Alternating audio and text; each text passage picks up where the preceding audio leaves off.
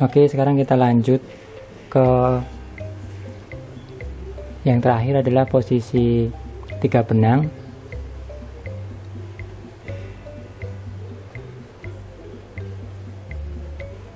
Tapi menggunakan dua jarum. Untuk upper lower, lower bagian atas tetap kita kosongkan, kita blok. Tapi kita menggunakan dua jarum. Sekarang ada satu jarum, kita tambahin satu lagi. Kita matikan dulu.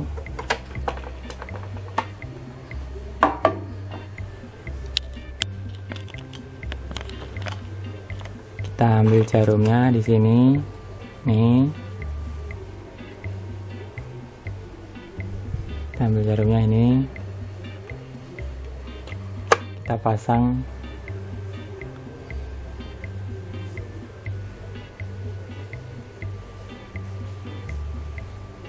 sebelah kanan.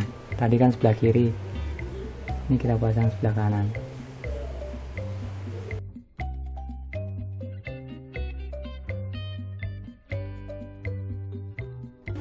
Oh ya biar nggak lupa. Untuk jarum mesin portable kan ada sisi rata ya kepalanya ya. Ini rata. Dan ini lingkaran. Nah pastikan posisi yang rata itu menghadap ke belakang.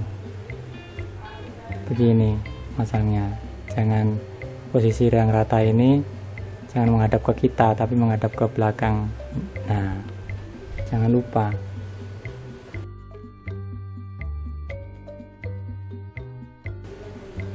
Oke.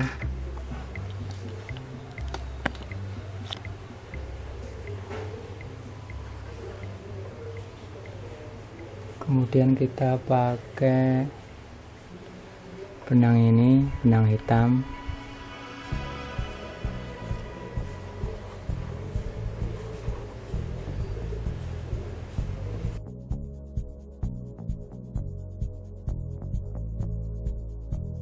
Oke.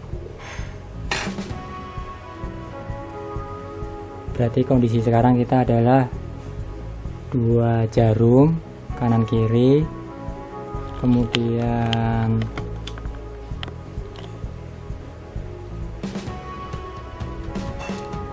settingan jarum pegangan jarumnya. Di empat untuk sebelah kiri sebelah kanan di empat. Nih. Kemudian upper lower lower bagian atas ini kosong. Kita blok ininya masih inget kan? Terus yang lower bagian bawah itu nol tegangannya settingan pisaunya di 6 ini settingan pisau. Kemudian lebar obrasan di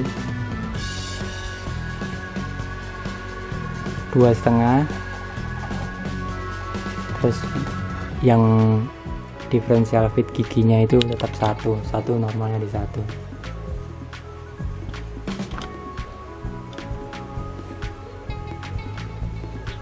Nah sekarang kita coba. Kita nyalakan.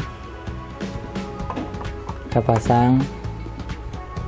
Seperti pertama kita manual seperti biasa.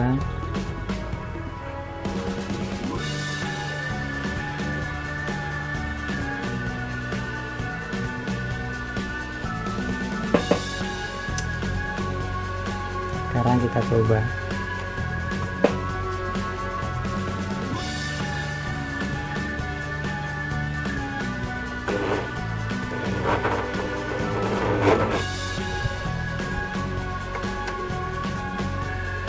coba sebentar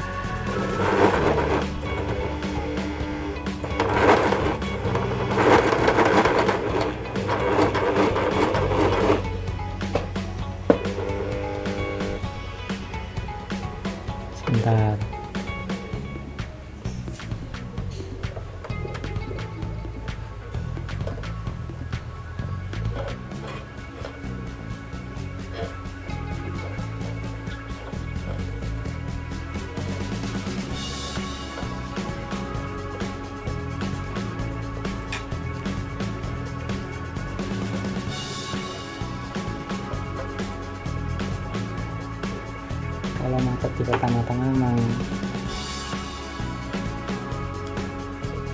wajar. Sekarang kita coba lagi.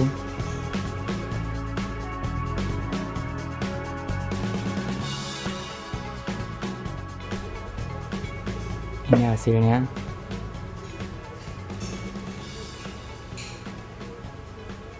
Masih sedikit kasar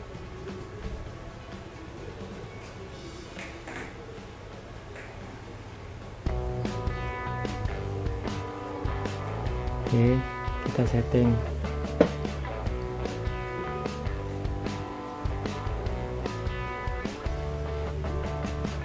Kita setting pisaunya ke 5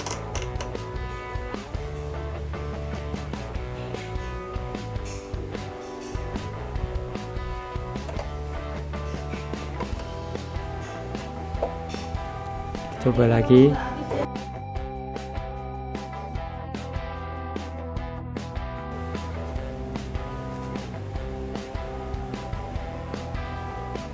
ini hasilnya.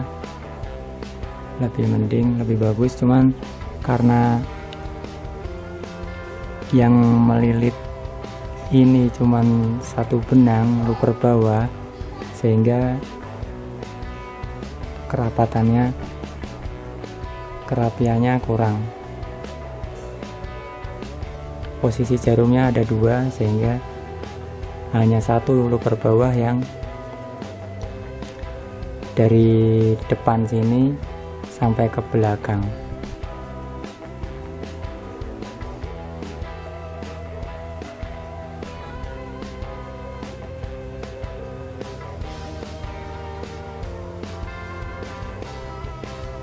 Oke jadi inilah hasilnya. Untuk dua jarum dan luper bawah dengan tiga benang tanpa luper atas. Selamat mencoba